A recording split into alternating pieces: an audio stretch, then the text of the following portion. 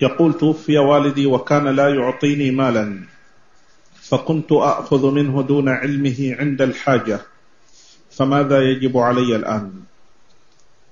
إذا كنت كما ذكرت تأخذ قدر الحاجة فقط فليس عليك شيء لأنه يجب عليه أن ينفق عليك. إذا لم يكن لك مال تستغني به فيجب عليه أن ينفق عليك فما أخذته يكون من حقك إذا كنت محتاجا إليه.